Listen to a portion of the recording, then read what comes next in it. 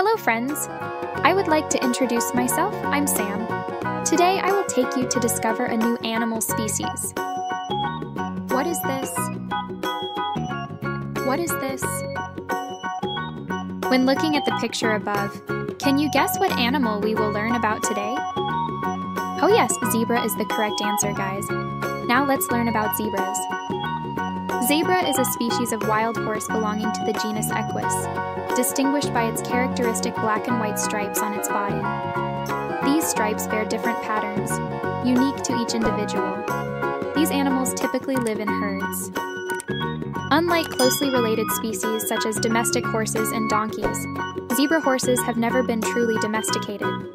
There are three subspecies of zebra horse the mountain, steppe, and Grevy's zebra. The mountain and steppe subspecies belong to the subgenus Hippotigris, while Grevy's zebra is the only species of the subgenus Dolichohippus. All three subspecies belong to the genus Equus, alongside other horse species. The primary diet of zebra horse consists of dry grass and other types of grassland vegetation. They can also consume leaves and other plant species if necessary. Steppe zebra horses typically have a shoulder height of about 1.2 to 1.3 meters, with body lengths ranging from 2 to 2.6 meters and tail lengths of 0.5 meters. They can weigh up to 350 kilo, with males generally larger than females. Grevy's zebras are significantly larger, while mountain zebra horses are smaller. The striped pattern also serves as a visual signal and identification aid, reducing the risk of herd members getting lost. Although each individual's stripe pattern is unique, zebra horses can also recognize their herd through these stripes. The stripes also serve to cool zebra's body. Air can move faster through the black stripes, absorbing light, while it moves slower through the white stripes. This creates a convection current around the horse, helping it stay cooler. A study even analyzed that zebra horses with more stripes tend to live in hotter environments.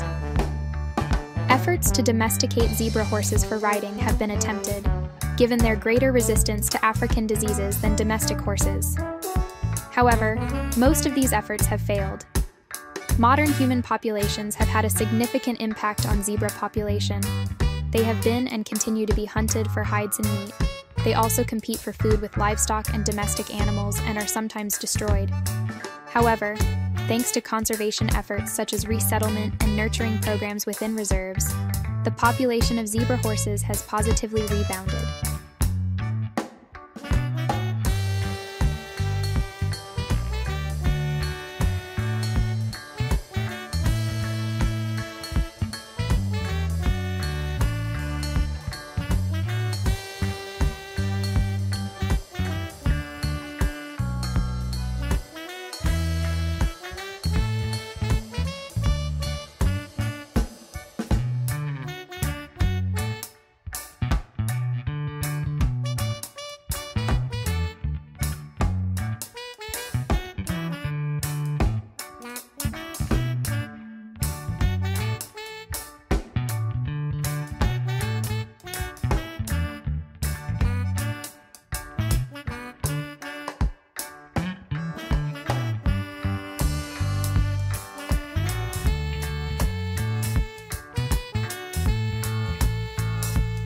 Zebras are special, aren't they?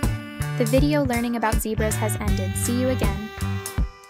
Don't forget to like and subscribe to the channel to discover and learn about new adorable animals. Share if you find it useful to someone.